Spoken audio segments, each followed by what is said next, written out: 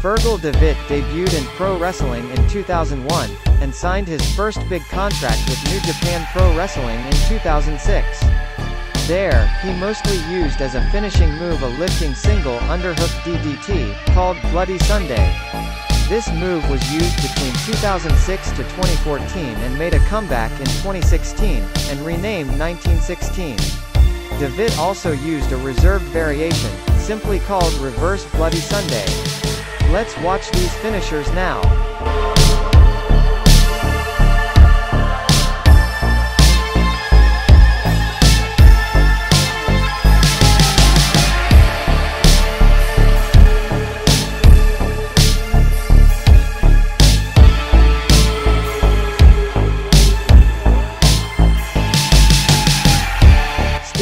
Japan Pro Wrestling, he added two other finishing moves to his arsenal, the Prince's Throne and the Shingata Prince's Throne.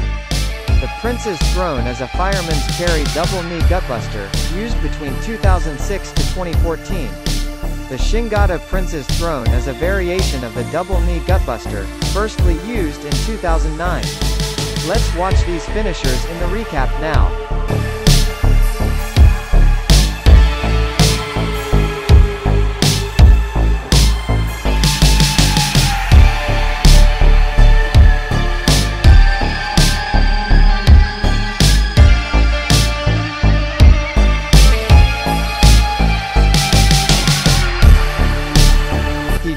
WWE in 2014 as Finn Balor, and changed his finishing moves.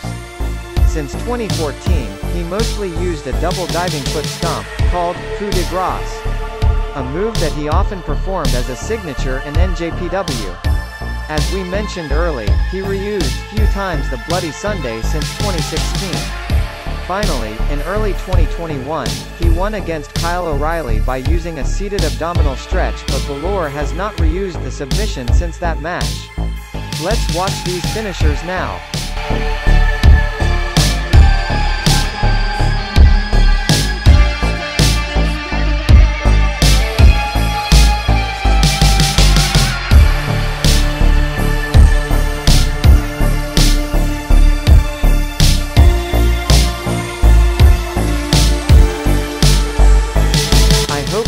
Enjoyed the video. Help my channel to grow, leave a like and a comment. Click on the right for more videos, on the left to subscribe. Remember to check complimentary infos in the description.